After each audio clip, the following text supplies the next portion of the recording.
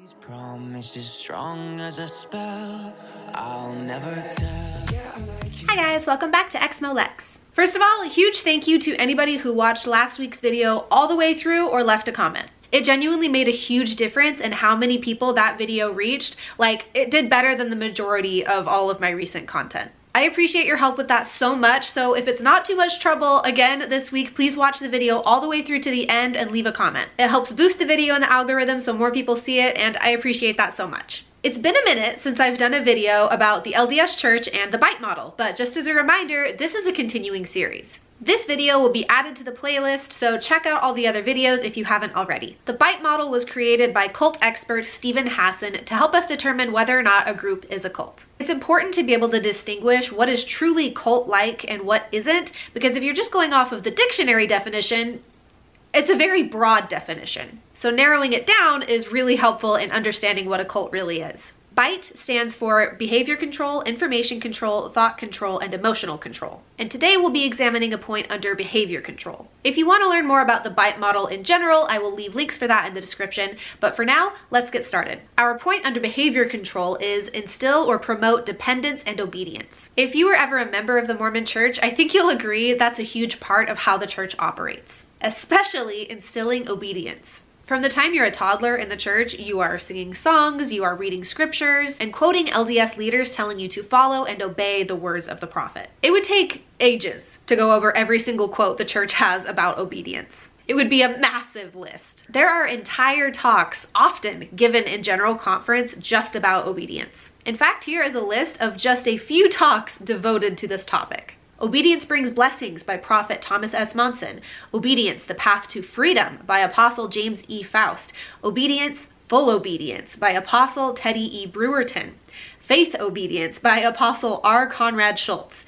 Obedience to the Prophets by Apostle Claudio R. M. Costa. That's just to name a few. Like, it's funny because I'm sure they have to come up with different titles for the talk, but they all have to be like obedience this, obedience that, faithful obedience, full obedience, obedience to the prophet, obedience to God.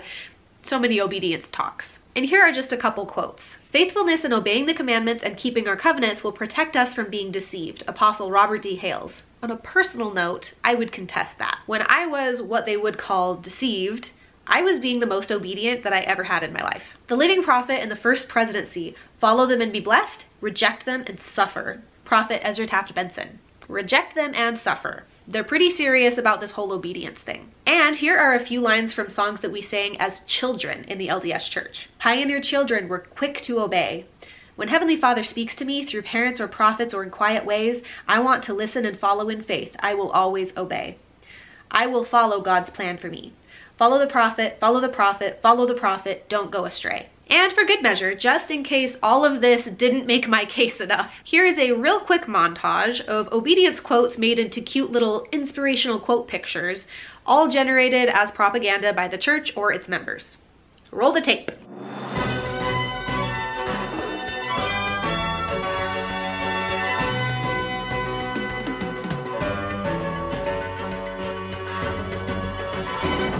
Obedience, obedience, obedience. Now let's move on to dependence. Are the members conditioned to be dependent upon the church? I think yes, in a couple different ways. When we think of dependence, we often think of financial dependence. And I think in some cases this does apply. For example, the church sometimes will help out members of the church with food or bills if they are struggling, but only if they are active and paying tithing to the church. Which is like a little bit ridiculous. Like we have hundreds of billions of dollars, but if you want us to help you, you have to be giving us 10% of your income. Obviously, this does not apply to every member of the church. Not everybody is struggling financially or in a place where they need to be dependent on the church for food or help with bills. So financial dependence only applies in some cases. However, I do think that the majority of church members are dependent on the church in other ways. When I left the church, I lost my community because I depended on the church for community. Christmas parties, Relief Society activities, weekly meetings, friendships. My whole family are church members, so I was worried about losing them too.